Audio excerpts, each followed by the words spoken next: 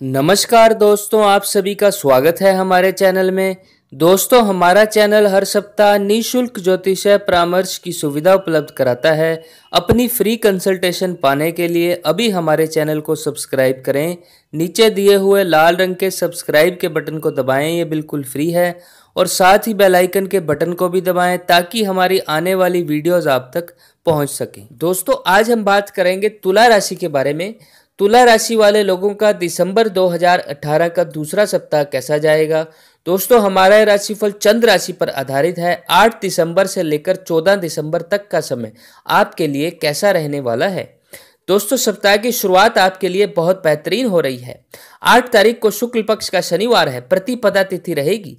मूल नक्षत्र रहेगा, जिसका स्वामी केतु है। चंद्रमा धनु राशि से आपके तीसरे भाव से गोचर करेंगे। आप इस दिन घूमने फिरने का प्रोग्राम बना सकते हैं। अपने कारोबार के लिए भी आपको यात्राओं पर निकलना पड़ सकता है। नए नए लोगों से मिलना जुलना होगा, मन में प्रसन्नता बनी रहेगी।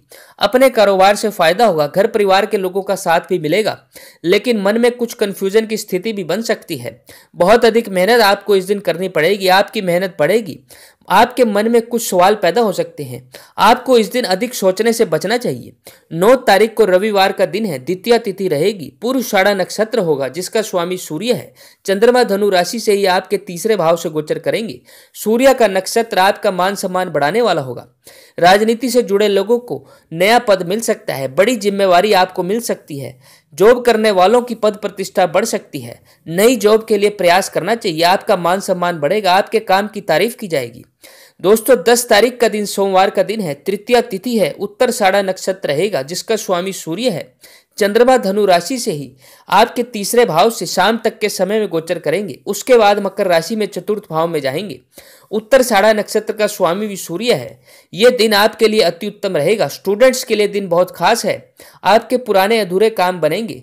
जॉब करने वालों को फ़ायदा होगा।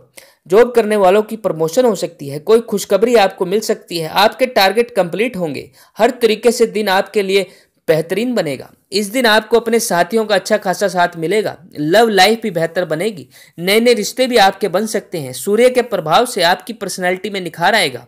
हर काम को आप शीघ्र ही निपटा लेंगे। भाग्य का अच्छा खासा साथ आपको इस दिन मिल रहा है। लेकिन शाम के समय में आपकी सोच बहुत अधिक पड़ सकती है, क्योंकि चंद्रमा आपके चतुर्थ भाव में प्रवेश करेंगे। दोस्तों 11 तारीख को मंगलवार का दिन है, चतुर्थी तिथि है। दोपहर के डेढ़ बजे तक उत्तर साड़ा नक्षत्र रहेगा, उसके बाद श्रवण नक्षत्र प्रारंभ होगा। उत्तर साढ़ा नक्षत्र का स्वामी सूर्य है, श्रवण नक्षत्र का स्वामी चंद्रमा है। चंद्रमा मकर राशि से आपके चतुर्थ भाव से गोचर करेंगे। दिन का समय आपके लिए बहुत बेहतरीन है और शाम का समय आपको धन दिलाने वाला होगा। चंद्रमा का नक्षत्र रहेगा, जो आपके भाग्य में वृद्धि करेगा, मन में प्रसन्नता बनेगी। इस दिन आप अपने परिवार के कामों को, अपने परिवार के अधूरे कामों को निपटाते नज़र आएँगे। घर परिवार के लोगों के लिए आप बहुत सीरियस रहेंगे। आप अपने परिवार की जिम्मेवारियों को बखूबी निभाएँगे। नई भूमि, नए वाहन लेने का योग भी बन सकता है।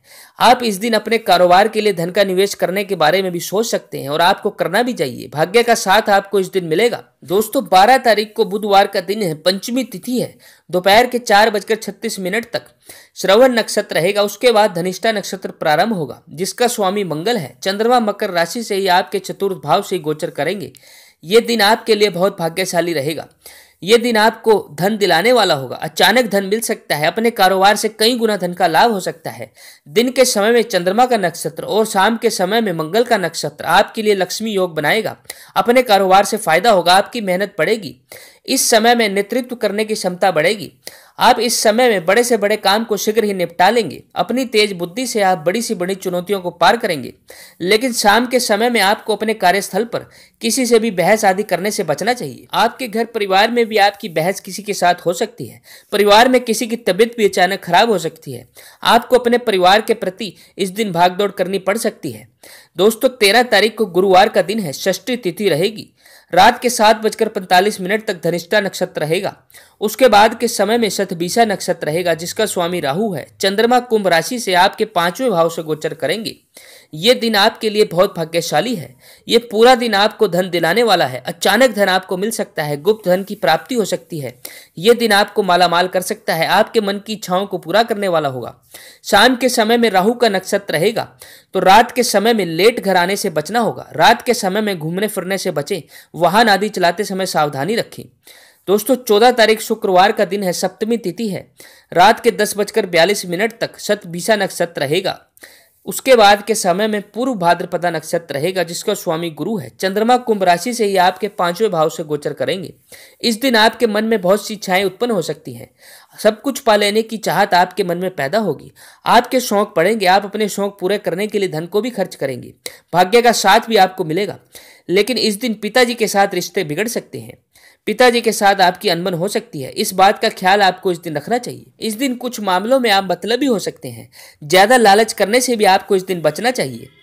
दोस्तों, ये पूरा सप्ताह आपके लिए बहुत भाग्यशाली है। तुला राशि वालों के लिए ये सप्ताह बहुत कुछ लेकर आएगा। व्यापारियों को बहुत मोटा मुनाफा होगा। हर तरीके से फ़ायदेमंद साबित होगा। जॉब करने वालों की तरक्की होगी। दोस्तों, परिवार में खुशियाँ आएँगी। मैरिड लाइफ में खुशियाँ आएँगी। लव लाइफ बहुत बेहतर बनेगी। खास तौर पर सप्ताह के आखिरी दो दिन, तेरह और चौदह तारीख को, लव और रोमांस में इंटरेस्ट रखने वालों के नए रिश्ते बन सकते हैं। आपकी आपस के प्यार और विश्वास में बढ़ोतरी होगी। हर तरीके से यह सप्ताह आपके लिए शानदार है। स्टूडेंट्स के लिए भी तेरह और चौदह तारीख बहुत खास रहेगी। दोस्तों, कुल मिलाकर यह सप्ताह आपको कई तरह की खुशियाँ दे सकता है। अगर आपको यह जानकारी अच्छी लगे तो आप इस वीडियो को लाइक ज़रूर करें। आप इस वीडियो को शेयर भी कर सकते हैं। अगर अभी तक आपने हमारे चैनल को सब्सक्राइब नहीं किया है तो आप अभी सब्सक्राइब कर लें, ये बिल्कुल फ्री है। और साथ ही बेल आइकन के बटन को भी दबाएँ, ताकि हमारी वीडियोस आप तक पहुँचती रहें। आप अभी तक अगर हमारे चैनल से नहीं जुड़े हैं तो आप अभी हमारे चैनल से जुड़े। अपनी फ्री कंसल्टेशन पाने के लिए कमेंट बॉक्स में कमेंट करें। जल्द ही आपसे बात की जाएगी। धन्यवाद।